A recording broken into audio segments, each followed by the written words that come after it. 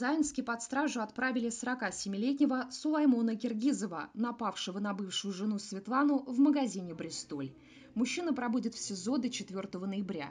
Его обвиняют в покушении на убийство. Ну, сейчас, так как вы были свидетелями, рассмотрено судом ходатайство следователя по сложным делам Заинского МРСО, следственного отдела об избрании мер в отношении Киргизова, поддержания Киргизова. Вот, суд рассмотрев материалы уголовного дела, ходатайство следователя, при нарушении было ударение и вынес решение о заключении под стражу Киргизова ну, до конца следствия. Я считаю, что решение суда так обоснованное, и это решение не удален. Я считаю, что судом правильное решение принято по уголовному делу.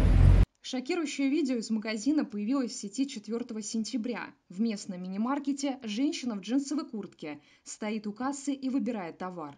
За ней в очередь встают еще две женщины, а в следующий момент в алкомаркет врывается мужчина, достает из кармана отвертку и прячет ее за спиной. Он хватает Светлану на глазах покупателей и начинает хаотично наносить ей удары по всему телу. На кадрах заметно, что женщина сначала растерялась и только после нескольких первых ударов попыталась защищаться. Мужчина держит свою жертву за куртку и не собирается останавливаться, продолжая наносить удары ей в спину. За 22 секунды он успел нанести своей жертве 12 колющих ударов. Позже выяснилось, что таким образом бывший супруг пытался отомстить экс-жене.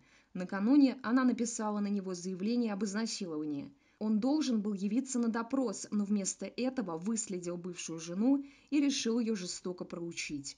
Женщину экстренно доставили в больницу. Ее жизни сейчас ничего не угрожает. Сулаймон Киргизов сбежал с места преступления. Его объявили в розыск и задержали на следующий день. Сначала сотрудники полиции обнаружили автомобиль подозреваемого в 25 километрах от города.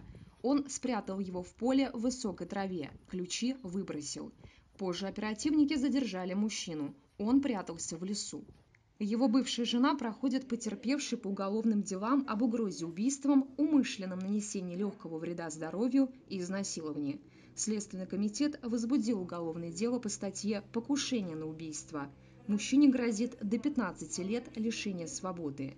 Семья характеризовалась положительно. Четверо детей, один из которых от первого брака Светланы.